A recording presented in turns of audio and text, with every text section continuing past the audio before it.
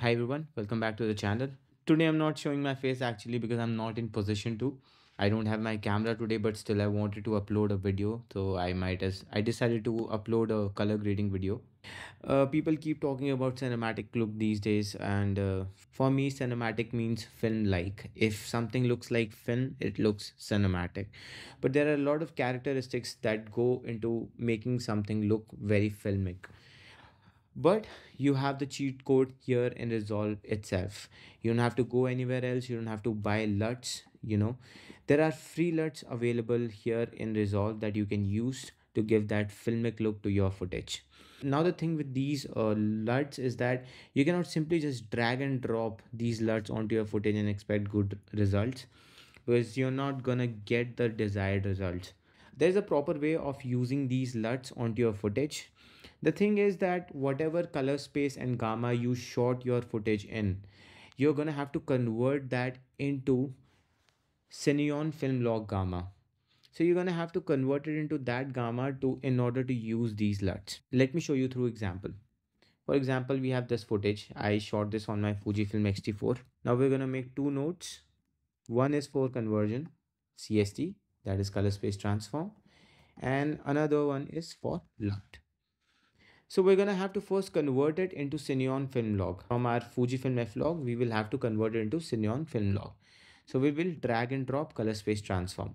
You should know your input color space in gamma. Mine is uh, input color space for me is Rec 2020 and input gamma is Fujifilm F log.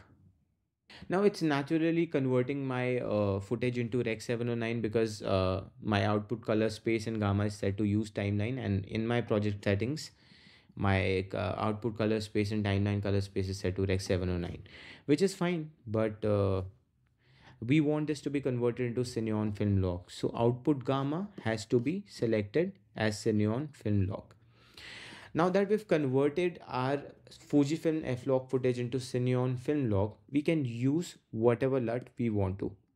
Come to the LUT node and select one of these LUTs according to your own preference. We have two LUTs here basically, Kodak 2383 and Fuji 513D1. Fuji 513DI, I'm so sorry uh, and these two LUTs are available in different temperatures. So these three LUTs are uh, Kodak 2383 LUTs and we we have these three LUTs in different temperatures here. Let's see which one look best. Okay. So as you can see, the temperature is changing. The 55 one is the one with the warmer temperatures and uh, 65 one is uh, leaning towards the colder uh, temperatures. We have more split toning in this one. Not exactly more split toning, but we have more blues in the shadow areas. I think I'm gonna just go with the warmer one for this look. So that is how you apply these film looks onto your footage. You can't just simply drag and drop these LUTs onto your footage to use these. This is the proper way. These LUTs will give your videos such filmic vibe. Let's just grab a still and let's just apply this onto uh, some other footages. So this is the one i took recently. Bam. It's converted into uh, kodak 2383 so this is not exactly going to go well with every video we might have to make certain adjustments according to whatever uh, white balance the footage was shot in. This looks beautiful. We might want to uh, do some color adjustments and uh, exposure adjustments here but um, as far as i can see looks very nice very pleasing.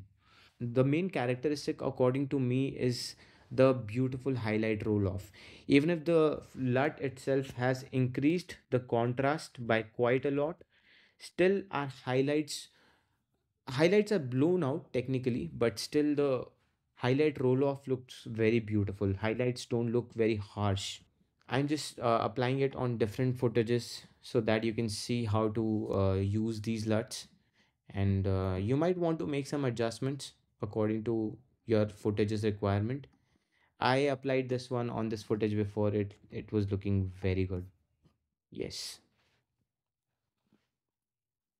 Let me show you before and after. And if you want to like uh, as you can see there are a lot of details here in the cloud and we are losing uh, the detail after we've applied the LUT. So we can anyway do some uh, selective adjustments in our secondaries uh, we can draw a mask or we can maybe use HDR wheels to bring the highlight uh, details back. So that can always be done. I'm not going to do that in this video but that is also doable. So if you're losing some uh, detail in the highlights don't be scared. Resolve, Resolve has such uh, amazing advanced tools that you can always uh, rely on.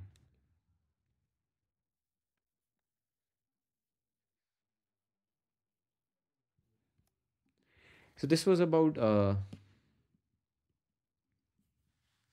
So this is the proper way of using these film looks in DaVinci Resolve. Uh, if you want more videos on color grading, you can subscribe to this channel. I'm going to upload a lot more technical videos and a lot more gear reviews on this channel. So you can subscribe and wait for those videos as well. I'll see you in the next video. Till then, be kind, keep grinding. Bye-bye.